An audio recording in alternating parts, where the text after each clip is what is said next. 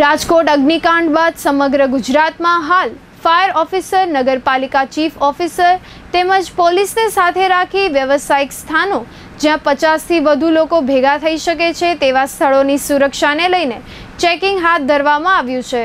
મુન્દ્રામાં નગરપાલિકા fire office અધિકારીઓ, મામલતદાર કચેરી તેમજ પોલીસને સાથે રાખી Geeta hospital, MIMS hospital, Aarti hospital, સરકારી હોસ્પિટલ, ડૉક્ટર મિતેશ પટેલની હોસ્પિટલ જેવા અનેક સ્થળોએ ચેકિંગ હાથ ધરી જરૂરી કાગળિયા પૂર્ણ કરવા સૂચના અપાઈ છે.